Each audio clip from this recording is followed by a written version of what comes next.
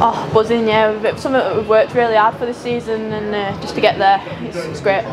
We're very excited. Um, you talked about work hard, really had to work hard for in that game, credit to Wigan. What, would you say that, that match? It's always a hard match against Wigan. They're not an easy side, no matter what people may think. I think you've got to work. We've got some really good players. They're a young squad, but they want to work and they want to win trophies, so it's always an hard battle.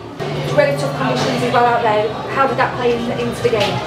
Uh, it meant we had to get rid of a bit of the expansive rugby that we like to play. So we, we like spreading the ball a little bit, but we have to play a bit shorter, maybe more of a forwards game. But we did we did well. We adapted and come out with a win. So. When it was 4 0, 4 all, sorry, uh, Mo says that you had to regroup at half time. What, what was the message for that second half? It was just how much do you want it? Do you want do you want to play at Wembley? Is that is that something that you want to do? And it was just reiterating the fact that we've worked hard. We need we've it's 40 minutes from Wembley, so you can go out and turn it around.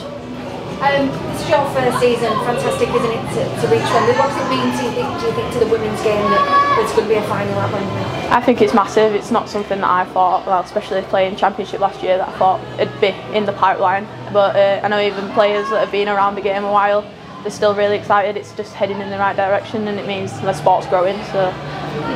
And the game yesterday, real, another competitive game, and our game's anything to go by, it's going to be a real challenge, isn't it? That, and a real classic final. Yeah, it's a good game. So looking forward to it. Saints are a good side, and it'll be a good game to watch.